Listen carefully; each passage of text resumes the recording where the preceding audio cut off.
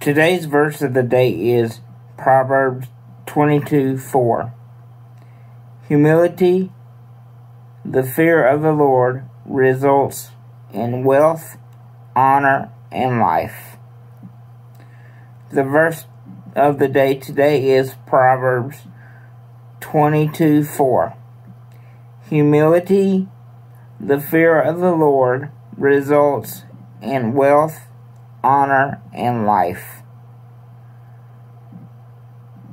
One of my favorite verses is Philippians 4:13, and it states, "I can do all things through Christ who strengthens me."